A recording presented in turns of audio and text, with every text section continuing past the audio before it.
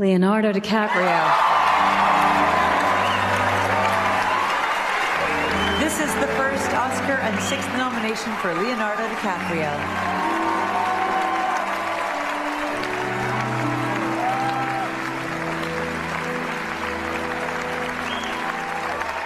Oscars! It's about fucking time, guys!